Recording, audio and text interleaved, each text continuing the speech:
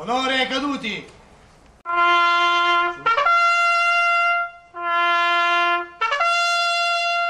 Questa mattina, presso il cimitero urbano, si è tenuta la cerimonia di commemorazione dei caduti della patria.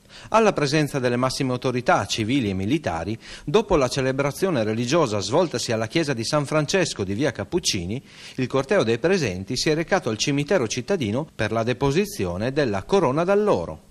Il sindaco di Pordenone Claudio Pedrotti. Rinnoviamo quella che è ormai una, non solo una tradizione ma un dovere, onorare i caduti Oggi è di fatto un giorno di preparazione al 4 novembre. Questa è una prima delle cerimonie che normalmente si svolgono in questo periodo dell'anno per ricordare i caduti di tutte le guerre.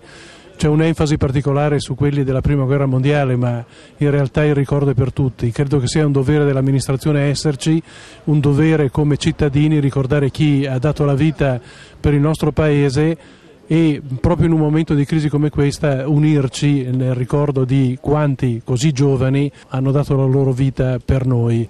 Ricordare questo e andare avanti ad affrontare i tempi certo eh, incerti che eh, sono di fronte a noi.